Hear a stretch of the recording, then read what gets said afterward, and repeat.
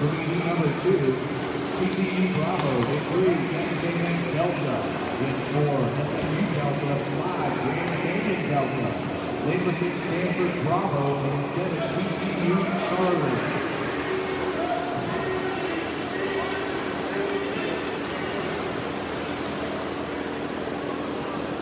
Out with the lead is Stanford Bravo. Ryan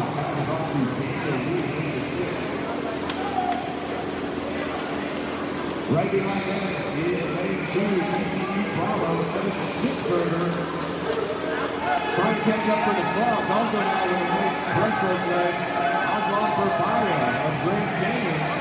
Burbaya should abreast for the Grand Canyon Delta team.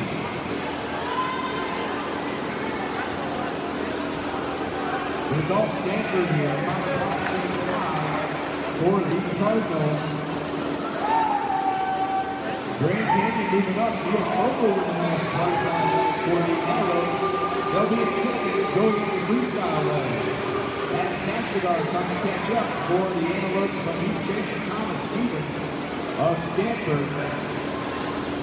Stevens and Carter will not be denied in this heat number two as Stanford stops the clock with 129-12.